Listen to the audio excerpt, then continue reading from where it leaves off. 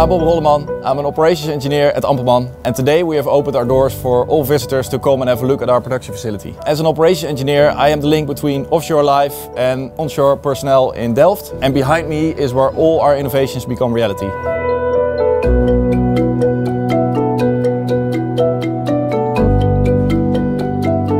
Me and my team are working at the concept development. We generate a lot of ideas. For example, for the gangway, we are working on a new system to make people transfer more safe.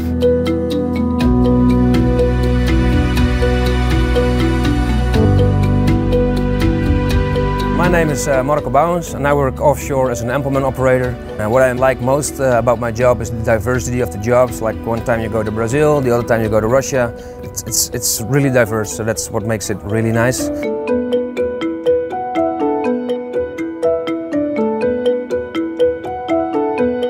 Is Jonna Welsjen and I work for Ampelmann. I'm a team lead of the Fleet Improvement Department. At our department we try to improve our fleet as much as possible. What I like about working at Ampelmann and doing my job is that the fact that I get to develop my leadership skills uh, while staying closely contact with engineering because that is my background. And today we have shown what we can do as a company.